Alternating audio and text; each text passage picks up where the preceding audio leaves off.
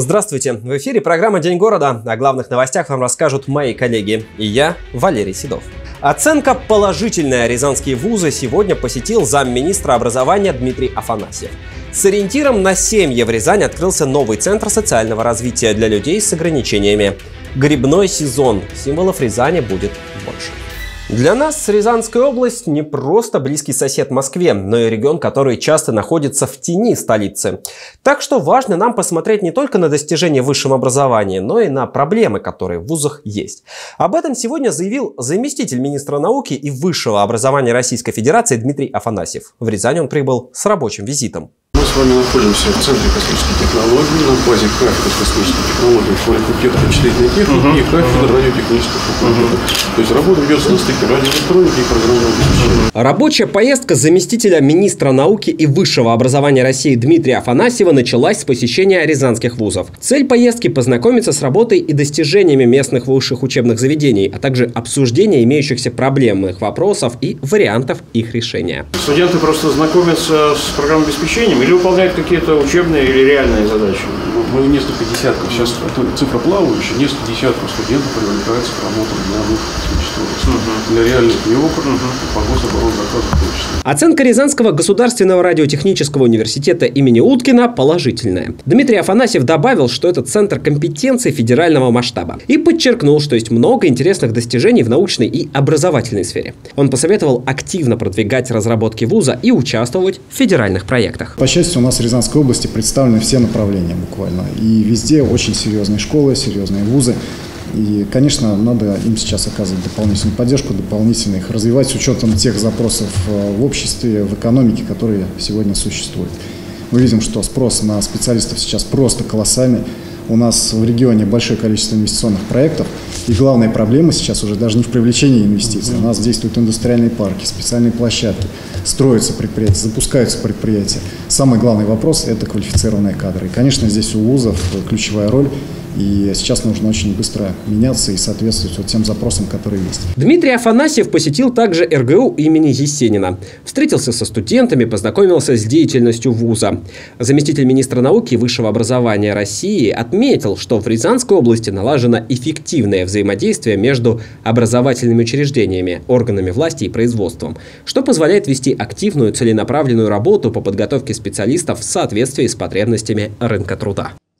Сегодня в Рязани открылся новый центр социального развития. Структуру создали на базе Центра социальной реабилитации инвалидов. Сейчас здесь работают 59 человек, которые помогают обслуживать примерно 2000 детей и молодых людей с ограничениями в возможностях здоровья.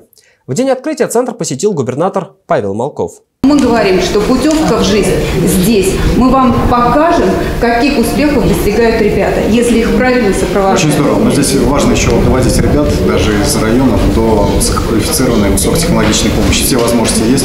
Сейчас в стране работают ну, центры очень серьезной квалификации и возможности у нас есть. Главный ориентир для специалистов нового Центра социального развития – семьи. За каждой здесь закрепляют персонального куратора, вместе с которым разрабатывают персональный курс реабилитации. Работают психологи, логопеды, социальные педагоги. Сейчас в центре более двух тысяч подопечных. Принимают детей с рождения и взрослых до 45 лет. Молодец.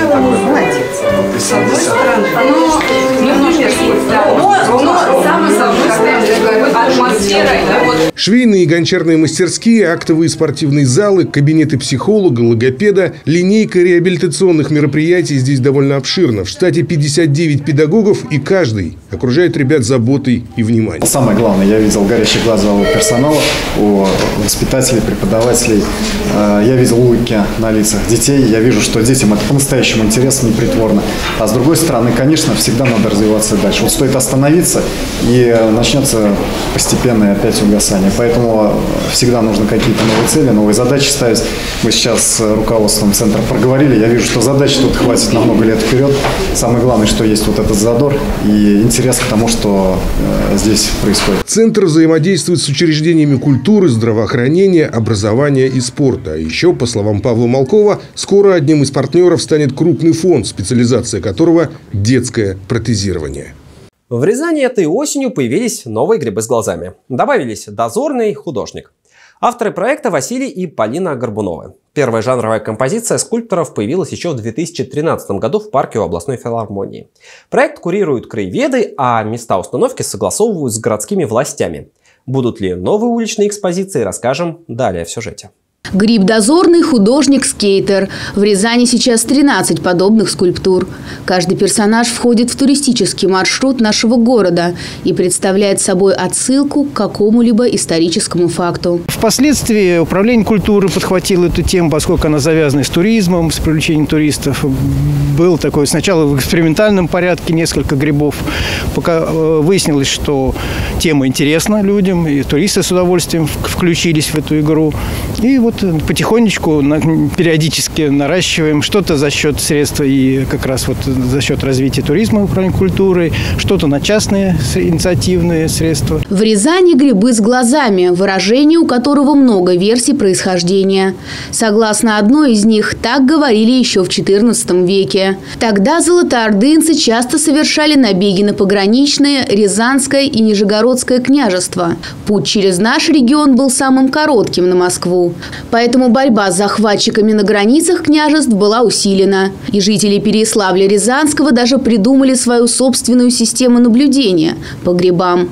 Их разделили на два типа – спящие и говорящие. Спящими называли целые грибы, а говорящими те, которые ордынцы срезали, чтобы сварить или случайно сбивали. Жителям нашего княжества трогать грибы в пограничных районах было запрещено, чтобы наверняка вычислить путь вражеских войск. Прежде всего, место диктовало, потому что именно в рамках туристических маршрутов они должны быть привязаны к каким-то точкам, которые имеют за собой историческую основу какую-то, да, интересно, на что можно опереться. Ну и вот с этого отталкивались, советовались с краеведами, определяли, где что может быть, и, соответственно, вот появились первые вот эти грибы. Да, а... в каждом грибе есть QR-код, который рассказывает историческую какую-то справку о том месте, в котором он стоит чтобы было интересно. Не просто так гриб, он там каждый тематический. 12 уличных экспозиций в миниатюре, а вот 13-я – самая первая. Полноразмерный памятник официальному символу Рязани. Его поставили 10 лет назад на деньги спонсора. Проект поддержала региональная администрация. И такие вот бронзовые грибы теперь встречают гостей и жителей областного центра во всех знаковых местах нашего города. Кристина Бочкарева, Михаил Лазуткин, телекомпания «Город». Спонсор программы «День города» – выставка продажи икра и рыба Камчатская, морепродукты с Дальнего Востока возле торгового центра «Круиз». Вековой юбилей художественного музея продолжают праздновать в городе. А летняя череда приуроченных к празднованию выставок завершилась в музыкальном театре торжественным вечерним мероприятием. В праздничном вечере, который прошел 5 декабря, приняли участие заместитель председателя правительства Рязанской области Артем Никитин, исполняющий обязанности министра культуры региона Елена Васильева, митрополит Рязанский и Михайловский Марк, а также сотрудники музея. В музее сформировалась уникальная коллекция картин, гравюр, произведений декоративно-прикладного искусства авторов с мировым именем, в том числе рязанских художников. Экспозиционная работа музея также вызывает восхищение, ведь посетители и сотрудники ежегодно знакомят с шедеврами современного искусства, с частными коллекциями. За годы выстроились теплые отношения с музеями разных регионов и с частными коллекционерами. Добрый день, меня зовут Мария, и я рада приветствовать вас в Рязанском художественном музее. В ближайшие полтора часа мы познакомимся с вами с удивительной коллекцией русского западноевропейского искусства, живописи, графики, декоративно-прикладного искусства и небольшой, но очень значимой коллекции древнерусского искусства Рязанских земель. Такими словами я каждый день встречаю наших экскурсантов. Для меня это привычная работа, но поверьте, в ней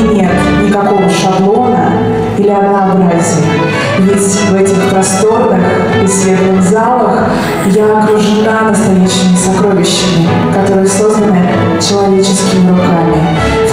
Сотрудникам музея вручили памятные знаки губернатора Рязанской области за усердие, почетные грамоты и благодарности. Юбилейный праздник украсили камерный оркестр Рязанской области и солистка Рязанского областного музыкального театра Алена Сильвестрова. Художественный руководитель оркестра – заслуженный работник культуры Сергей Проскурин. Напомню, музей образован 30 марта 1913 года. Коллекция пополнялась за счет дарителей и участников выставок. В 1915 году музей передал передали городу, в том же году прошла первая выставка. На ней было представлено 72 экспоната. Сейчас фонды музея насчитывают более 15 тысяч произведений отечественного и западноевропейского искусства 15-20 веков. 4 декабря в Рязани открылась выставка продажи икры и рыбы камчатской. И уже с момента открытия рядом с прилавком образовалась очередь. Рязанцы хотят попробовать дары Камчатского края. Аппетитная белорыбица с лоснящимся мясом и красная ароматная чевыча. Разнообразие цветов и вкусов ждет рязанцев на выставке продажи икры и камчатской рыбы. Эти виды, конечно, невероятно популярны, но ими ассортимент не ограничен. На выбор горожан представлено аж 35 видов свежей рыбы. За деликатесами приходят искушенные вкусами выходцы дальневосточного края. Что сегодня решили купить? Я икру. А почему икорочку? А я потому что ее люблю. Я сама с Дальнего Востока, и я всю дальневосточную рыбу очень люблю. Поэтому я здесь часто у них беру, прихожу, покупаю. Не прям вкус, как на Дальнем Востоке? Да, да. Ну, потому что она вот это, я уже знаю всю эту рыбу. Начиная от чевычи, это все это моя любимая рыба. Икра с выставки продажи пользуется большим спросом. Незабываемый насыщенный вкус ценится среди гурманов. Да и без красной икорки наверняка не обходится ни одно семейное застолье. Красная икра, да еще на бутербродном сливочном масле – яство, которая обладает лечебными и полезными свойствами, ведь она является очень ценным продуктом питания. Белки, содержащиеся в икре, придают энергию и силу, а также активизируют обмен веществ. Что сегодня решили взять? Икру и чувачку. А почему икру? Вкусная. Я икру беру. А почему икру? Ну, Новый год же на, на носу. Главное блюдо. Новый год, все-таки праздник большой. Полакомиться и приобрести вкусные деликатесы можно на выставке продажи икра и рыба Камчатская. Теперь и возле торгового центра «Круиз». Выставка работает до 9 декабря включительно. Это были все новости на данный момент. Еще больше информации вы сможете найти на нашем сайте город62.тв и в группе в социальных сетях. А на этом я с вами прощаюсь. Хорошего вам вечера и спокойных новостей. До встречи в эфире. Это свершилось! Камчатские деликатесы в Рязани. Цены от производителя. Наша гарантия – это наше качество. С 4 по 9 декабря у входа в ТЦ Круиз.